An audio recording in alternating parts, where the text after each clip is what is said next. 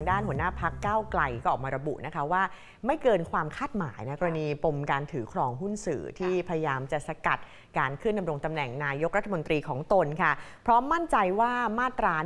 151 นะคะจะไม่เป็นอุปสรรคในการเลือกนายกรัฐมนตรี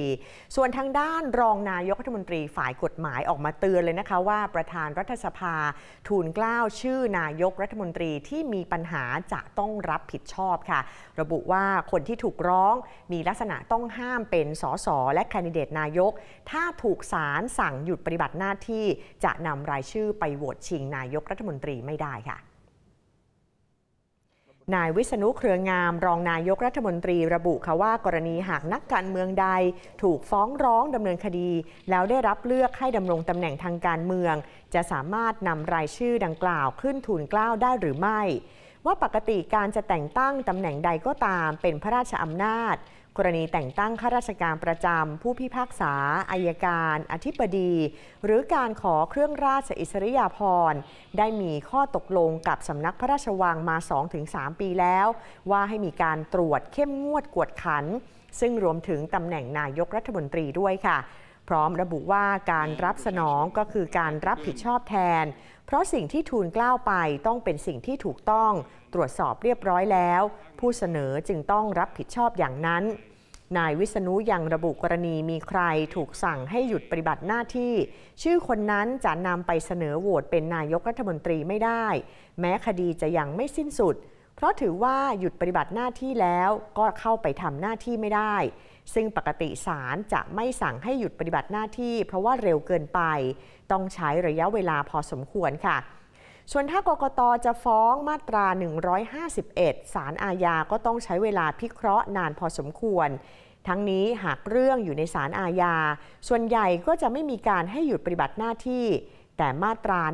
151 เป็นที่มาของทุกเรื่อง ถือว่าถูกต้องแล้วที่ต้องดรอปเรื่องอื่นให้หมดค่ะ แล้วเหลือมาตรา 151เพราะถ้าใช้มาตรานี้ผลที่ออกมาจะครอบคลุมทั้งหมด แต่จะใช้เวลานานค่ะสิบสสก็ห้าสิบสวยี่ห้าสวสามารถมาตรวจสอบสสได้ใช่ไหมครับ ได้แล้ว รวมทั้งกกตเองก็ตรวจสอบสสตรวจสอบสวตรวจสอบรัฐมนตรี แล้วก็กกตเองก็มีอำนาจ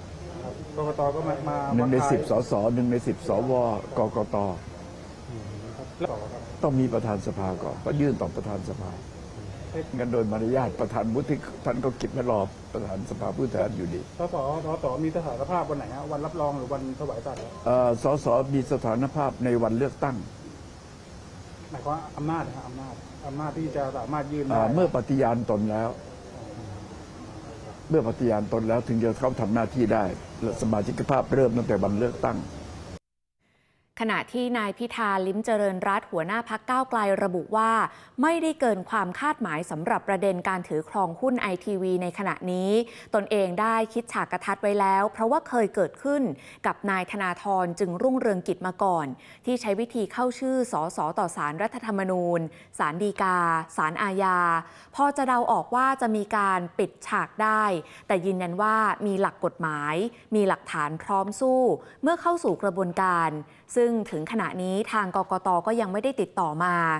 นายพิธายังเชื่อมั่นตามกฎหมายว่าถึงแม้ผู้ที่ถูกสั่งให้หยุดปฏิบัติหน้าที่ แต่ยังสามารถถูกเสนอชื่อเป็นนายกรัฐมนตรีได้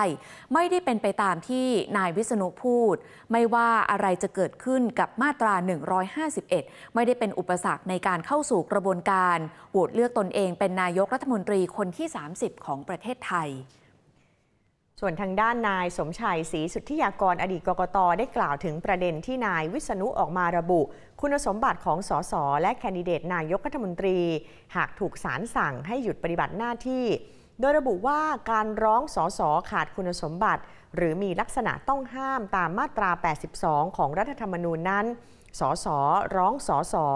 ส่วนสวก็ร้องสว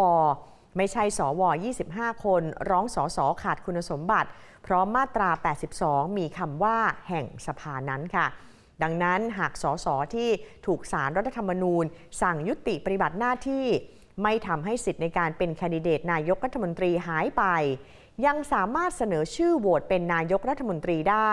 ตัวอย่างเช่น นายธนาธรจึงรุ่งเรืองกิจ ถูกสารรัฐธรรมนูญสั่งให้ยุติปฏิบัติหน้าที่เมื่อ 23 พฤษภาคม 2562 การโหวตนายกรัฐมนตรี ระหว่างพลเอกประยุทธ์ และนายธนาธรก็ยังทำได้ เมื่อวันที่ 5 มิถุนายน